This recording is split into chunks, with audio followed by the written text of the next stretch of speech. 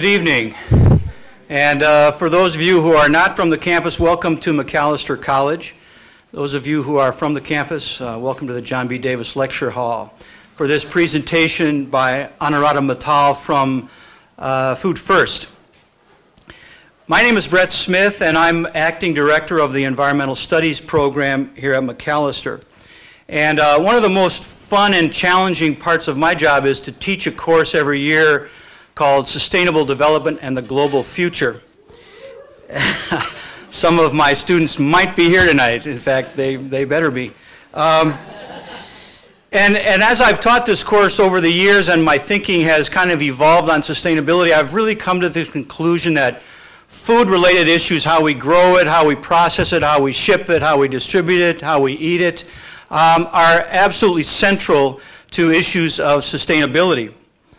Uh, I can't resist. As many of you know, the most commonly accepted definition of sustainability, which some of you out there should know, is meeting the needs of the present without compromising the ability of future generations to meet their needs. And I think it's widely acknowledged that in the area of food, we're not doing very well on either front. In terms of meeting current needs, we have hundreds of millions of people who are hungry around the globe, and even in a country as rich as, as the United States, we have hungry people. In terms of meeting the needs of the future, we are growing what we eat now in ways which um, deplete water, mine soil, reduce biodiversity. Uh, the problems that are associated with food and agriculture are widely acknowledged, but the solutions are controversial. But as I was considering uh, my programming opportunities for environmental studies, um, one of the first uh, groups that jumped into my mind was Food First. And so I'm, I'm very pleased and proud to have uh, Anuradha Mittal with us tonight. Most of you are too young to remember the publication of the book Diet for a Small Planet. But it was published in, I believe, 1971, at a time when we were uh, becoming newly aware of the smallness of our globe and the interrelationships uh, among peoples, among environments, among ecosystems. And the idea that a diet could be shaped in the, in the support of this small planet was uh, uh, an outstanding, powerful idea that grabbed a lot of people and sold a lot of books. Um, it, it launched a lot of ideas and perhaps very importantly, it launched uh, Food First, which is also known as the Institute for Food and Development Policy. So uh, I welcome you tonight. I want to thank our co-sponsors, the International Studies Department here at Macalester, and I especially want to uh, thank the Institute for Agriculture and Trade Policy. Uh, from right here in Minneapolis, uh, that is an, another one of the leading uh, international groups on food policy and improving uh, food processes, policies, programs around the world. We are lucky to have this, uh, this group in, in the U.S. and in, in Minnesota and in Minneapolis. And uh, tonight we, we have with us Kristen Dawkins from IATP, who's Vice President of International Programs there and an analyst and author in her own right. And she's agreed tonight. She travels around the world in support of of better food policy, and she's agreed tonight to introduce Anuradha because they've run into each other uh, at various points in the globe. So, um, again, thank you for coming, and without any further words from me, I'll turn the podium over to Kristen Dawkins from IATP. Hello, everyone. Good evening. It's a great pleasure to be here. I only get about one minute tonight, but I love to give talks. And actually, the reason that I know Anuradha is that from time to time, we find ourselves on the same podium together, or we even have been asked to pitch hit for each other when one or the other of us couldn't make an invitation. I've sometimes suggested to people that they call her instead. Our organizations, the Institute for Agriculture and Trade Policy and Food First, are sister organizations. We work on many of the same issues, and our commitment is uh, very, very strong towards justice in the world, starting with food issues, as Brett has indicated, but also trade policy, poverty issues, development in the third world, and uh, justice for all is really the bottom line. Anuradha is a wonderful person, a, uh, a uh, straight from the heart kind of talker. She's uh, also sharp as a tack, one of the most articulate people, I think, in the country, maybe even in the world. And uh, you're very fortunate to hear her tonight. Uh, she's a real expert on the whole issue of globalization and its many ills, as well as on the alternative vision for how we could shift what we presently have as the globalization horror story towards a uh, potential future in which justice and health can all prevail. Uh, she's not just a thinker and speaker and writer, however, she's also out there on the front lines. At all of these different uh, negotiations with the United Nations or the World Trade Organization. She's also part of the protest movements after she's giving her official statement inside to the governments. She comes right out on the streets and is on the front lines in the Doha uh, negotiations of the World Trade Organization. For example, she was one of the people with duct tape. Remember the era of duct tape protests? and uh, in the Cancun negotiations for the WTO, which were just this past December, she was part of the crowd that actually went inside the negotiations, which are usually very serious and diplomatic, and was part of the protesters there who said, shame, shame, shame, and built up the loud chant, shame, shame, shame. She is uh, tonight going to be talking about food sovereignty and the new face of global agriculture. She has been a political scientist trained in India and in England. India is her home country. She's been here in this country for uh, a good decade or more and uh, involved with the Food First organization for uh, the past eight years. She is also part of the Right Livelihood Awards jury committee. This is sometimes called the Alternative Nobel Prize, which really gives an honor of that global significance to alternative people, uh, and uh, it's gotten as much recognition as the Nobel Prize in some of the media. So she's one of the people that they have identified as uh, out there, able to identify those alternative uh, experts and, and uh, change makers in the world community. So, uh, thank you very much for coming to Minnesota, and thank you very much for all the fighting that you do on behalf of justice and the whole planet. Anuradha Mittal. Thank you, Kristen. That was one of the most warm, beautiful introductions I've ever received. Um, it is such an honor to be introduced by Kristen, um, a fellow activist, sister in the struggle, and also an inspirational leader. And I don't know if I've ever said this to you before, but people like you and Mark have deeply inspired me, especially work that I've done in this country, in the United States. And I want to thank uh, all the sponsors who have brought me here and want to thank all of you for being here. Um, yeah, it's just such a pleasure. I've never come to Minneapolis before and I was expecting it to be really cold, but at least inside this room, the warmth of all of you, and especially Kristen yours, I can feel it, so thank you. Um, so as uh, Kristen has mentioned, um, I'm going to talk about um, I wanted it to be about hope today. I wanted to talk about the new face of agriculture. And, uh, and it might seem too simplistic from where I'm going to begin, but I am going to begin from how agriculture was introduced to me by my mother. And uh, from what I had learned from her, which is in the tradition in my culture, parents, mothers telling stories, the story that I always heard from her was that of for thousands of years, how small farmers have grown food for the local communities, planting diverse crops in healthy soil, recycling organic matter, following nature's rainfall patterns, maintaining the rich biodiversity.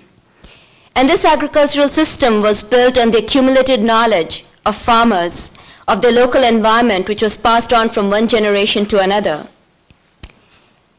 And as we all know or are already aware of it, that this farm system is facing not just an environmental but a moral crisis. The family farm system, men, women, and children who have tirelessly worked to sustain it, on one hand have been romanticized by the poets, by movies around the world, and at the same time, They've been abused economically, socially, politically by policies such as industrial, promoting industrial agriculture or free trade agreements. And as a result, what we've been given is what's called modern agriculture. This modern industrial agriculture has replaced family farms with corporate farms, farmers with machines, mixed crops with monocultures, and has traded local food security with global commerce in food. I think this best uh, phenomenon is uh, best described by Wendell Berry in his uh, chapter in Fatal Harvest. He says, one of the primary results and one of the primary needs of industrialism is the separation of people, places, and products from the histories. To the extent that we participate in the industrial economy, we do not know the histories of our families, our habitats, or our meals. This is an economy and, in fact, a culture of the one night stand. I had a good time, says the industrial lover, but don't ask me my last name. The industrial eater says to the svelte industrial hog, We'll be together at breakfast. I don't want to see you before then, and I won't care to remember you afterwards. United States is no different. US farmers have been sold out to corporate agribusiness with ever increasing numbers of farm bankruptcies and foreclosures, reaping a grim harvest of increasing alcoholism, increasing rates of shame and depression, suicides, and loss of rural community. In the 1930s, 25% of the US population lived on the nation's 6 million farms. Today, America's 2 million farms are home to less than 2% of the population. Small family farms have been replaced by the large commercial farms, with 8% of farms accounting for more than 72% of all sales. Between 94 and 96, 25% of all US hog farmers, 10% of all grain farmers, 10% of dairy farmers, they went out of business. The US Department of Labor projects that the largest job loss among all occupations between 98 and 2008 will take place in agriculture, and it is not surprising given that average farm operator household earns about 14% of its income from farming. The rest comes from getting a second or a third job at the local Walmart or a local gas station. And these figures, they pale in comparison to one fact, that the number one cause of death for farmers in the United States is suicide, something that the media does not report. It does not report when President Bush talks about free trade agreements are really good for the American farmers, that out of 50 poorest rural counties, 49 of them are rural counties. That the average age of farmer in the United States today is 55 years or older. That there are more prisoners, that there are more people behind bars in this country than actually farmers left. It has been the federal policies which have really supported and greased this path of decline of the American countryside. For example, the Farm Bill, the American Farm Bill uh, of uh, uh, just two years ago, um, 2002, the crop subsidies there, they do not go to farmers who resemble John Steinbeck's Joad family, but they go to wealthy American corporations such as uh, Chevron, John Hancock Insurance Company. They go to wealthy individuals like Time Warner Entertainment executive Ted Turner or David Rockefeller of Chase Manhattan Bank. Most family farms get nothing but a farm bill. And this subsidizing of well-heeled agribusiness has ensured the continued exodus of family farmers from the land. And the Farm Bill subsidies are basically taxpayers' money, which helps bankroll the nation's largest farmers, helping them to buy up the struggling neighboring farms and creating what's called a plantation effect, which turns family farmers into sharecroppers. So farmers have lost control of the food as it's going through the chain. In 2001, the largest four pork uh, packer corporations controlled 62% of the market. Four poultry firms controlled 53% of the market, while the top four firms in beef controlled 81% of the market. And when you look at grain distribution, it is even more concentrated. Two companies, Cargill and Continental, they control about two-thirds of the grain in the world in 2001. Now, this modern agriculture has not just robbed the US family farmers, but it is robbing the world's poor. Using the World Bank, the International Monetary Fund, the international trade agreements, US is opening up foreign markets for its agribusiness corporations. Today, one in four acres in America is grown for exports. And they do that by forcing poor countries to remove subsidies to lower tariffs. And then US can export, for example, corn at 20% below the cost of production. Wheat at 46% below the cost of production. So the result is basically reverse Robin Hood in effect. Basically robbing the world's poor to enrich American agribusiness. In 1997, over 2,000 farmers committed suicide in Anantapur, a district in Andhra Pradesh. The same time, 600 farmers in Punjab, which is one of the most fertile areas called the Granary of India, they also committed suicide. An Indian journalist, P. Sainath, he visited all the police stations in Anantapur and he reported that out of 1,600 of those uh, 2,000 farmers, they were committed by drinking pesticides and that most of the farmers had failed and defaulted on paying their, uh, making their loan payments to the bank. With this industrial agriculture, as farmers have been put on the treadmill of, you know, chemical intensive agriculture, it has increased the cost of production. At the same time, there are no markets, leaving uh, farmers with a dead end, and when they're faced with a dead end, they have opted for death. It is estimated that between 97 and 2000, over 20,000 farmers in India have committed suicide. This is a country which, according to the government of India, every year 2 million farmers are displaced from land. When I say displaced, it means people who lose their land, they're the ones who migrate to Delhi, Bombay, Calcutta. You can go to villages in the south of India where you won't find a single young man between the age of 18 and 35 with both kidneys because they've sold a body part, they've sold a kidney to make ends meet. And the sad thing is, Food and Agriculture Organization of the UN says that in the developing world, there are about 815 million people, 815, who are food insecure, and India is home to 380 million of them. India is also the third largest producer of food in the world. It is not because of population that people are committing suicide and there's not enough to eat and there's starvation deaths.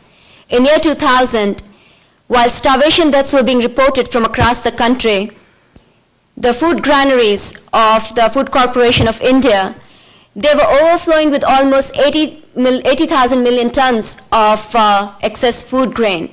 Food that was rotting because Indian government was looking for export markets, could not find an export market because it could not compete with subsidized crops that come in from United States and Europe. So they were not buying from the farmers. Farmers were burning their crops in the field. Um, no way to pay back uh, the banks, and the only way left was to take your life. So anyone who talks about hunger and says free trade agreements will increase national income and the national income will trickle down, or biotechnology or genetic engineering of food will increase food production, we know that will not solve hunger. Because people who are too poor to buy even two decent meals a day, there's no way they can buy two meals genetically engineered. Hunger cannot be solved by a technological fix or by free trade solution. For dealing with hunger, we need living wage jobs, for example, in a country like United States. We need um, land reform. We need real agrarian reform that we can ensure people's access and control over food producing resources. But I have some good news. And the good news is that any system which is built on structural inequities is ultimately unsustainable. It fuels conflict and struggle along the lines of class, gender, ethnicity, till it consumes itself, and today's modern industrial agriculture is just such a system. It is unsustainable and bound to fail. Mexico was once self-sufficient in grains, but now largely, as a result of NAFTA, it imports, it is estimated, 95% of soy, 58% of rice, 49% of wheat, and 40% of its meat. NAFTA is killing the Mexican countryside with an estimated 600 peasants being displaced from land each day. Where do these farmers go? They try to come to America, they try to cross the border only to find death at the border or incarceration at the border or slavery in the fields of America.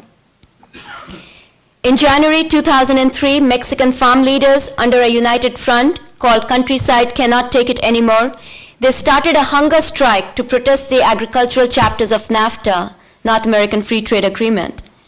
The hunger strike was accompanied by demonstrations along the US Mexican border, at airports, on highways, at the offices of the transnational agribusinesses. And farmers in Mexico saw an outpouring of support for their struggle both within the country and internationally. And this cross border organizing is the new face of agriculture. It was present in Cancun, what Kristen was ref referring to. Uh, in September 2004, the fifth ministerial of the World Trade Organization was held in this uh, holiday resort of Cancun in Mexico. And while the trade ministers and corporations were meeting inside the convention center to bring the trade barriers down by erecting barriers to keep over 15,000 indigenous folk, farmers, and youth out who were protesting the World Trade Organization. On September 10th, Lee Kyung-hae, leader of the Korean Federation of Advanced Farmers Association, he climbed up the barricades. He was wearing a sandwich board that read, WTO kills farmers and Lee Kyung-hae took his own life with a knife to his heart. Lee had watched over the years hundreds of his fellow farmers and um, activists in the Federation being driven off their lands. He himself lost his farm about four years ago.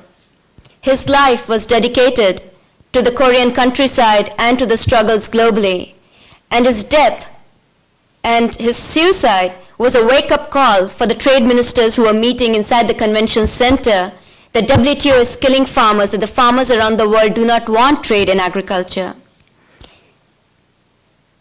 As I share Lee's story with you, which is not very easy uh, for people like Kristen and many others who have worked with the farmers, I share this because I don't want to think that the new face of agriculture is without hope.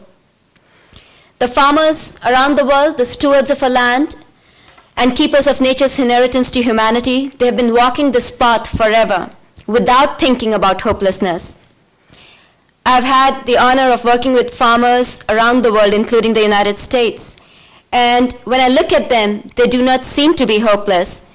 And they say that they have not quit, despite the census saying that there is no professional category of farmers in the United States.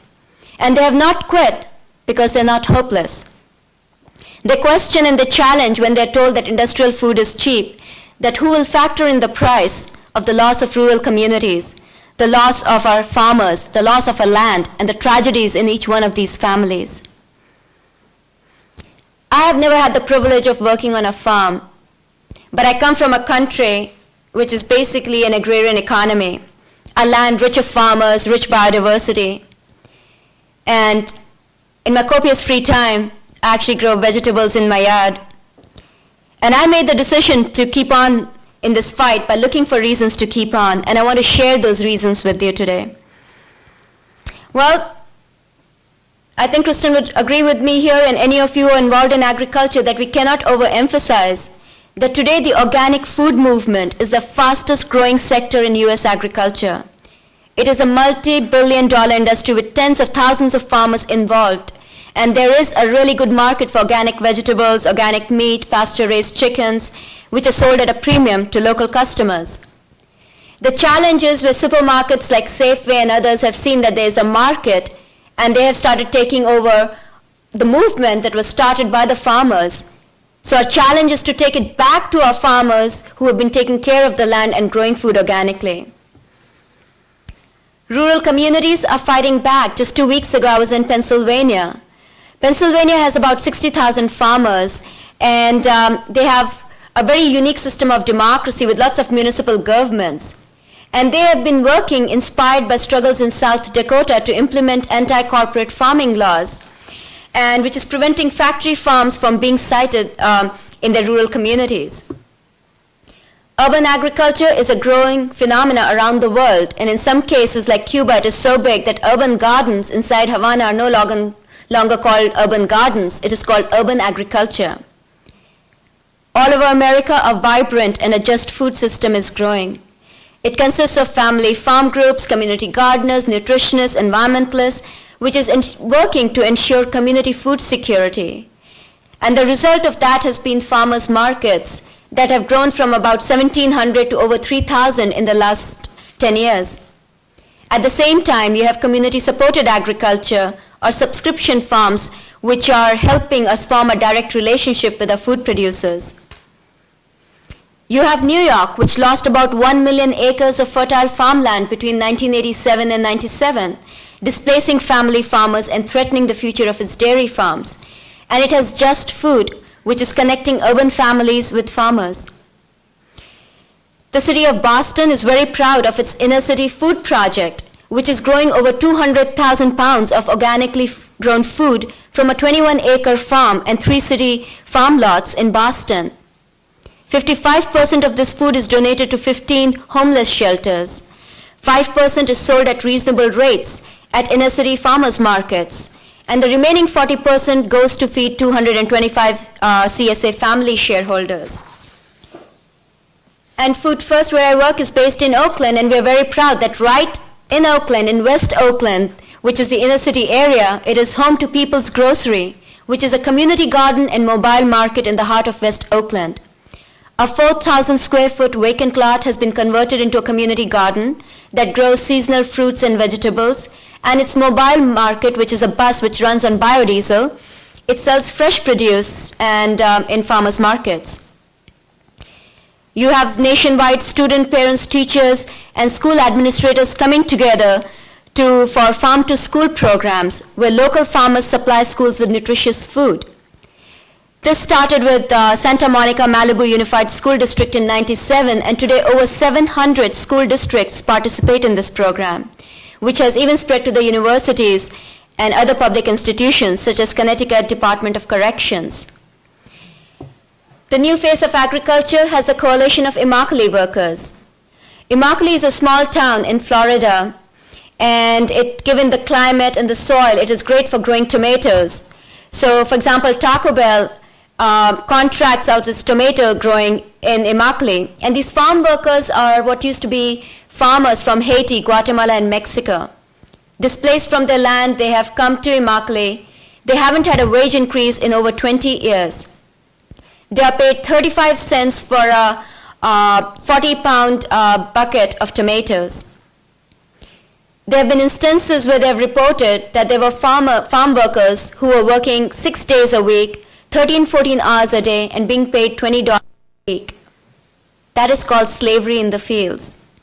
This coalition of Immokalee workers is not willing to settle for any more injustice. Uh, March 2nd, they're going to start a march in East LA. They're going to march down for 45 miles or so to Taco Bell headquarters in Irvine, and there'll be a big rally on the 5th of March. If you go to our website at www.foodfirst.org, you will see how Food First is involved in that rally. Uh, we are the staff of Food First will be marching with the farm workers and going to the rally outside Taco Bell headquarters. The demand is to increase their wages by one penny. Even if they increase the wages by one penny per tomato, it will make a big impact in the lives of the farm workers, and Taco Bell refuses to do that.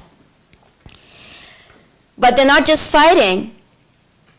Immokalee workers have been recognized and they were given the Human Rights Award last year by um, uh, RF uh, Kennedy um, Human Rights Award last December. In September, the international issue of National Geographic, the cover story was that of Immokalee workers. And of course, the US issue, the cover story was that of zebras. there is Mendocino County. Just last weekend, I was in Mendocino on March 2nd, on the election day, they're trying to pass Measure H. That would make, if passed, Mendocino the first county in the United States to ban the cultivation of GM crops in the county. It is a community effort while the industry has poured in $500,000 to stop that Measure H from happening. They do not even have a TV station, but the industry is running TV ads in other places about Measure H. The biggest argument that the industry is putting out is that Measure H will take away the privacy of people because federal authorities and state authorities and municipal authorities can come in and look in your backyard if you're growing GM crops. With the constitutional amendment, these government authorities need to have a warrant. But what Monsanto does when it sends its detectives into the farms of farmers, They don't even have a warrant. They're terrorizing our farmers. So the county of Mendocino has come together to fight back the biotech corporations, and Vermont is trying to do the same. And it is incredible that they are doing it because just in the last two years, Zambia, which was facing starvation, when it asked for international help, US tried to force GM food aid on Zambia. And it wasn't free food aid, it was a loan of $51 million given to a private agency which had to be used to buy GM corn from United States. And when they refused, it was like a mouse that roared. Tony Hall, uh, representative to the food agencies of the UN, he said Zambia should be tried before the International Criminal Court for starving its people. Somebody needs to tell him US doesn't believe in the International Criminal Court. India last year was again told to accept GM food aid. And the same thing happened. India said no to GM food aid from United States because this food aid is a way of subsidizing agribusiness because Europeans don't want that food. And the agribusinesses in America do not get this. That food that is not good for Europeans is also not good for Asians, Africans, and Latin Americans. That actually when Bush blames Europeans for uh, keeping third world away from GM food, he doesn't realize that the third world can actually think for itself. There is Australia, which state after state has been adopting moratoriums around GE crops. Last year I was in Victoria, which was, Greenpeace was very active in getting a moratorium on the planting of GE canola, and they were successful in that. And of course, there's Europe, which has been fighting back the challenge from uh, United States and the World Trade Organization that regulation of GM crops is a trade barrier. That protecting our environment, protecting our communities, protecting our farmers is seen as a trade barrier. There is MST, Movement of Landless Workers in Brazil. Uh, Brazil, a rich country, at the same time which sees 40,000 people die each year from hunger-related diseases. And the movement of landless workers, despite the brutalization that happens at the hands of uh, private armies of rich landlords, have been occupying lands. They have settled over 250,000 families, which provides a roof over the heads of children and families and food on the table. There's the black farmers movement in the United States. Um, at the start of the 20th century, there were a million black farmers. By the end of the century, only 10,000 were left. Black farmers in the US are like the canary in the mineshaft of American agriculture. Systematic discrimination by USDA, which did not give loans to black farmers, has seen their farms foreclose and displacement from land. And then this June, Bio, which is the consortium of the biotech trade industry, has decided to come to San Francisco. They're really stupid. They're coming to the Bay Area for their annual meeting. And there is a growing movement which is bringing together people who have challenged war to people who are challenging genetic engineering of a food system, people who are looking at human genetics. They're coming together as a welcome party to host the welcome party for the industry when it meets in San Francisco. It is the first weekend of June. I invite you all. Come join the party. Each of these examples that I've mentioned, they're not merely isolated examples of struggle alternatives that is taking place. They're really about change that is taking place on the ground, slowly, organically, steadily. And I would say its best crop is a new consciousness where we realize that food is both personal and political. Food is personal because each one of us, never mind our race, the color of our skin, our age, whatever, we all need it. It is personal, it goes right inside us. And it is political because every time we reach out on the market shelf and grab something from the market shelf, we are making a decision. A decision which shows how food is grown, who grows it, who gets to eat it. And it is also what Andy Kimbrell, another of my inspirations, who says, is transforming us from being consumers to a creator. Being a consumer, I mean, if you think about it, fire consumes, tuberculosis consumes. But the decision that we make is helping us become creators because it is helping us transform the industrial food system to us creating a food system which is more life-sustaining and just. And the battle cry of this new phase of agriculture is food sovereignty. Um, if it is not already obvious what it is, I would just describe how Via Campesina, which is the world's largest small farmers movement, describes it to be. Food sovereignty prioritizes local, regional, and national needs based on agriculture that consists of small farmers, fisherfolk, and other local communities. It is about protecting local and national markets of basic foodstuffs to give priority to the products of local farmers. It is about promoting, protecting, and enforcing farmers' rights, rights to seeds, to water, to land. It is about promoting sustainable peasant agriculture, which is more productive. Research done at Food First shows that small farms are far more productive than the large industrial farms. It is about promoting a direct and shared and decentralized relationship between food producers and the rest of the community. It is about ensuring genuine agrarian reform and land reform where even women, like in my country, India, have title to the land. More important, it is about creating a new farm economy which should be the centerpiece of country's economic development model. I'm going to close with uh, something from Gita. I was born a Hindu, and Gita is basically the philosophy of Hinduism. In the midst of battle, when the stakes were so clear, Krishna, the charioteer, talked to Arjun, the fighter, in the battlefield because Arjun suddenly had this dilemma that he cannot fight this war. And Krishna told him, your very nature will drive you to fight. The only choice is what to fight against. And I don't mean to impose my Hinduism on you, but I think each one of us is confronted with that. We are all fighters by nature. And we have to decide what we're going to fight against. And the fact that you're here on a cold evening, I would reckon, if you're not here for your credits, that you are fighters. That's why you're here.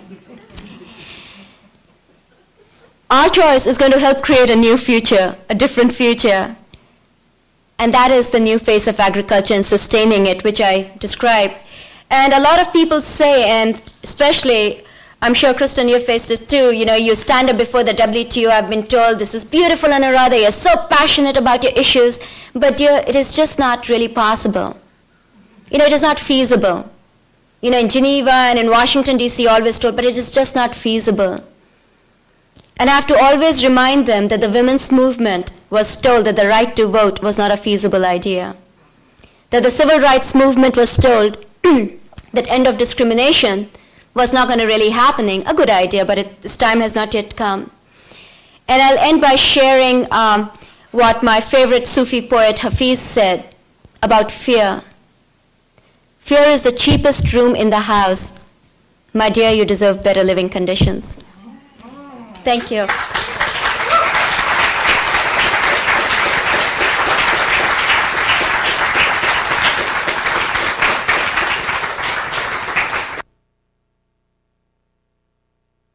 Uh, thank you. Um, in Seattle, we saw an incredible success. Um, they were not prepared for the kind of uh, protests that took place. They were not prepared for the fact that the, you know, these young students who so and others who believed in social economic justice for all would chain themselves to the hotel doors, not letting the delegates go to the meetings.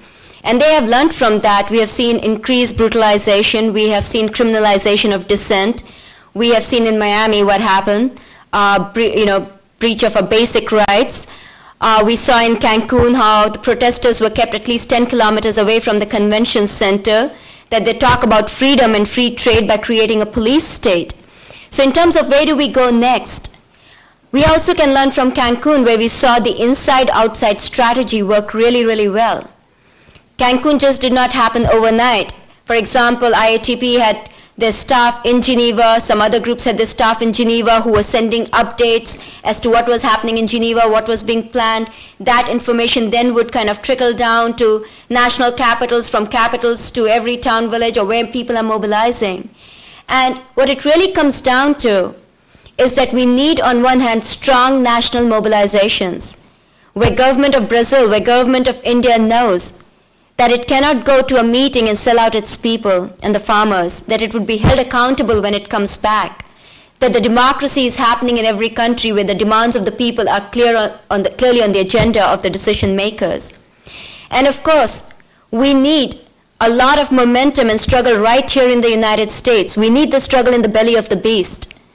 That we need to get it very clear to our congressional representatives and senators that free trade agreements have created a global south and a global north, that they're hurting farmers, that they're hurting working poor around the world in similar ways. Uh, just today in USA Today, I was showing Brett that there was an editorial, uh, not that I respect USA Today much, but there was an editorial which talked about, compared to 99, how in the United States today the, the support for free trade agreements has declined. Because not just the blue collared workers, but even the white collared workers are beginning to see that they're losing their jobs. And these jobs are not beneficial to third world countries. Mexico has lost jobs too. It is a race to the bottom.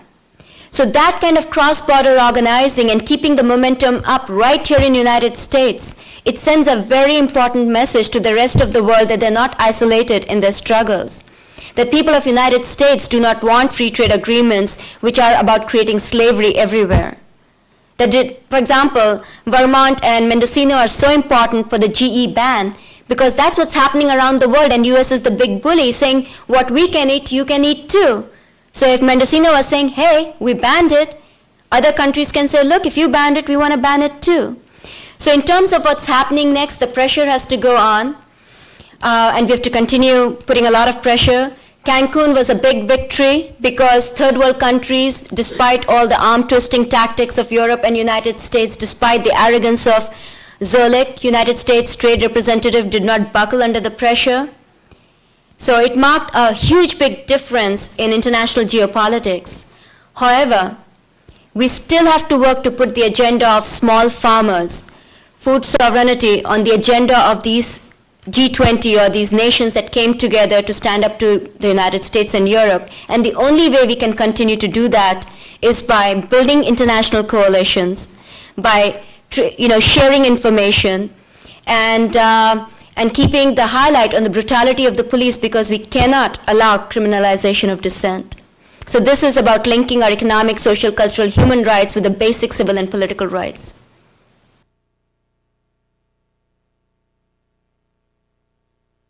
When people went to Cancun, there were lots of differences. For example, Europe and America, who hadn't been getting along too well, they put forward an agricultural proposal that was the most contentious issue because third world countries were saying, hey, agriculture was the carrot that was given to us to join the World Trade Organization, which then became a stick, as we are seeing our markets are being taken over. So they came forward with their own proposal, but the proposal that was put forward for Cancun talks basically was the US-Europe proposal completely ignoring the demands of the third world countries. So agriculture was a contentious issue. And G20 did come together, as I said, their agenda was that of they're food exporting countries, they can export. They wanted more market access. It was not about saying no to trade agreements, it was about more market access. And then there were other countries that came together that were saying we want to put aside special products, that they should not be in free trade agreements. And if you added up all their products, then you would have basically trade in agriculture stopped. So the focus became on G20, but the real reason the talks collapsed because the contentious, contentious issue was agriculture, was Europe started talking about the new issues. They wanted to bring in new issues to talk about. And these countries were like, hey, wait a minute. We haven't resolved agriculture. How can we talk about the new issues? So that is when the pressure went on and the countries like, it wasn't actually G20, Brazil or India who walked out of the talks. It was Kenya, ACP, the African Caribbean Pacific nations. They said, you know, these are not going anywhere and they walked out. So it was a very complex phenomena of different countries because they were not isolated, that they could come together and support each other, which they could not do in Doha. You did not have that support mechanism. It was right after September 11th. Uh, countries could be threatened with um, that the aid would be cut off. Pakistan, that we might make a stop in Pakistan on the way to Afghanistan. So there were all those different factors. So it is really about countries coming together, and I agree with you. G20, as I said, we need to respect that it is great that they could stick together and not get divided. But we have to work to put the agenda of small farmers on their agenda because they're still just talking about subsidies.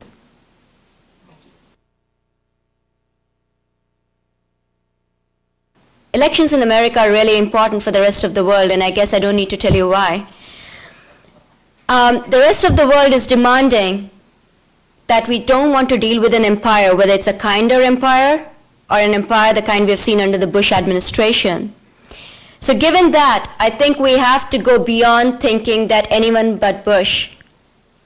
We have to also put our issues on the agenda of John Kerry. If you look at his record of the number of years he has spent um, as an elected official and how many bills he has passed, three. 18 years and three legislations. So I think it is going to be really important to convey the message to the Democrats that the way they can win elections is not by staying in the center or moving towards the right of the center. The choice is very clear to move to the left of the center. That the real issues of economy, economy is hurting, education uh, budgets are being slashed around the country, that this is about our future. It is not just, no longer just talking about someone else or what happens in Iraq or Afghanistan. There's a war right here at home. The kind of cuts that we have seen in our social safety net, in our all kind of school programs. What we have at best is No Child Left Behind Education Act, which basically allows military uh, personnel to go into high schools. Kids who can't buy alcohol, uh, can't buy cigarettes, can be enrolled for to be sent off to a boot camp. So I think it is really about letting Kerry know that it's not just about making promises or sounding that he's in the center, but really putting our progressive values. And that is the challenge before each one of us in this year. In terms of Kucinich, I've been telling all my friends in California to vote for Kucinich just to get a message to Kerry that, you know, it's not all ready for him. Um, it's very important to get those debates going. In terms of trade, first of all, uh, in a class that I was meeting earlier and I shared it with them, people just call us being against trade, anti-globalization. We are not anti-globalization. I define our movement as that of pro-democracy, pro-human rights, pro-women's rights, pro-immigrant rights, pro-environment. We are the ones who are pro-everything good in life, and they are the ones who are anti-everything good in life. So we are creating a different kind of globalization, globalization from below. So in terms of the trade agreements, trade has always existed. It is not new. But it is about what kind of trade do we want. And we have to listen to the people who are directly impacted, for example. For example, the farmers' movement say trade agreements out of agriculture. Agriculture is about feeding our families and communities. It is not about trading global commerce in commodities. It is about the multifunctionality of agriculture, the role it plays in maintaining our environment, our biodiversity. And given that, trade agreements cannot supersede everything. We have our human rights covenants and conventions that those come first before a treaty in trade. And um, so that would be our message that when we know the evidence is in, in terms of NAFTA, it has been a disaster for all three countries. So we have to listen to the demand of social movements when they say no to FTAA, Free Trade Area of the Americas. In terms of WTO, when the evidence is in in terms of job loss around the world. When the evidence is in in terms of the increasing powers of corporations who have uh, real rights compared to human beings. So looking at that evidence, it is not just about being rhetorical, that it means that those trade agreements have not served the purpose that they said they were going to serve, so they need to go.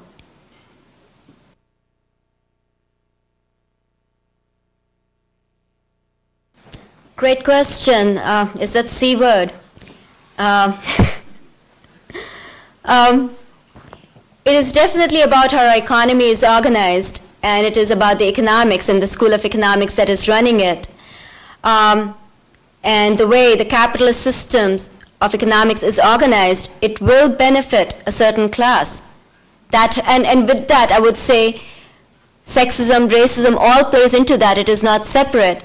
I would go beyond how Marx would have said, because I don't think we can solve the problem by just transferring over um, our, our our, you know, our manufacturing units to the proletariat because I don't know if you really want workers in charge of nuclear plants or in charge of, uh, you know, Monsanto's. We want to get rid of them altogether. Trained as a political economist, I want to go beyond those theories to be able to see that we do have a system which caters, which is set up by certain people, which is caters to the interest of those people, and it is pretty obvious, and that is how the capitalist system of economics will always work and it always has.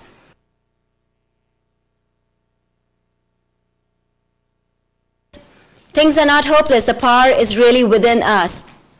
We make our decisions, and those decisions have a huge, big impact.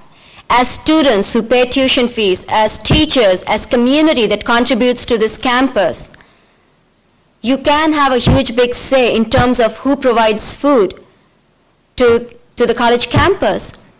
There are amazing examples, and I'm quite sure IATP could link up, and there are all other places that could link you up with CSAs and other places which can bring in locally grown, organically grown uh, food which would support our farmers, farmers, local farmers. This is about local economies.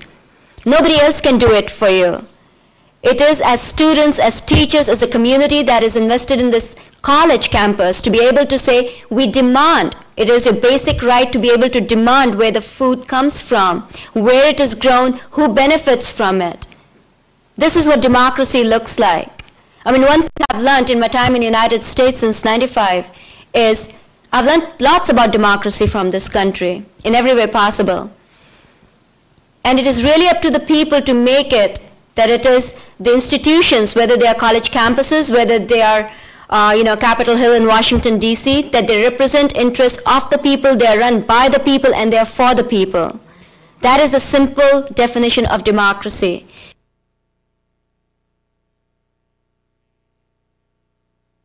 Coming back to the issue of cheap food, I think it is really about education, and that's what I was hoping to be able to do to question when we talk about cheap food, what that food is. For example, when we pay 99 cents for a loaf of bread, how much of it really goes to the farmer? You know, questioning that, how many of us know that if you, you know, spend a dollar on a loaf of bread, how much of it goes to the farmer? Ten cents. Four. Where does the rest of, and Daniel always knows everything. um, and um, how much does it cost the farmer to uh, that wheat that goes into? How much does it cost the farmer? Do you know that, Daniel? okay, he's not that smart. He would have said more than four cents. so that is what we have to question. That when our farmers are not even being paid the amount that it takes them to grow their food, we have to question as a society who makes the money on it. And it, then that's when it comes down to the corporate control of a food system where a handful of corporations who are horizontally, vertically, you know, all integrated, they control everything and they're the ones who are making the profit. So it is really about changing the food system and questioning that. And it is about then questioning also what the real cost is when we buy something cheap, in the, you know, what did it include the cost of polluting the environment, polluting the groundwater, polluting the air? What happens to the farm workers? And once we start making those choices, which I did, actually I discovered it's not that I was spending more money. Because suddenly I was going to the farmer's market every weekend. First of all, it was a whole community that I missed that I left behind in India. I've come to know all the farmers at the Jack London Square who come there, who share their recipes. Um, as I've gotten to know them, when I ask for a pound of tomatoes, I walk away with a pound and a half. And um, it is really looking at the cost when I started, you know, calculating for myself. I, the most beautiful thing about this new face of agriculture is that it is no longer just for the yuppies. As I mentioned, as more and more farmers markets are moving to the inner city areas, they're accepting food stamps, they're accepting WIC coupons, the food is not that expensive and we continuously believe because the industry has been telling us that the food is more expensive if we buy it organic, if they don't produce for us. Because they have a vested interest in it and that is they need those profit margins for themselves. And forming a direct relationship with the farmers over and over again has shown that actually the cost of food does go down. It is going to take a lot of education, and that's why groups like IATP, like Food First, and others become really important to keep getting the message out there that the food that they're selling is really expensive. It is basically, I would say this would you go and buy a landmine if it is cheap? Then why are you placing those landmines in your stomach?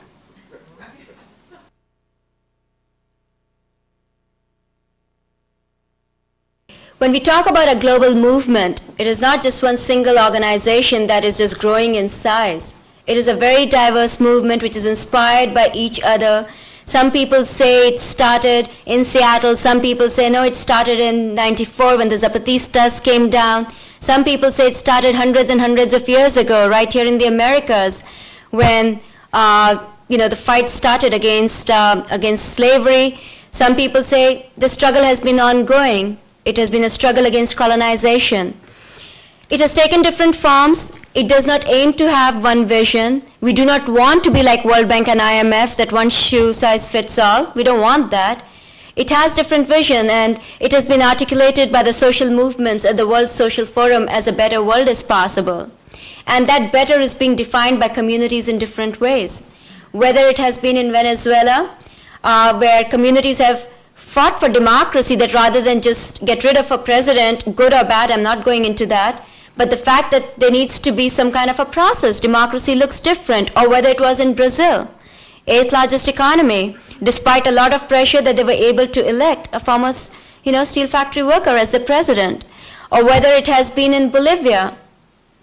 So those changes are taking place. Sometimes they are at the grassroots level, fighting against the privatization of water in Bolivia, or they can take the shape of a national political movement, electing their different kind of president, or whether it is about what kind of trade agreements they form, but there is not one unified vision other than that we are all struggling for a better world, a better world where all human beings can say, have a life of dignity, can lead a life with human dignity, and their human rights are ensured.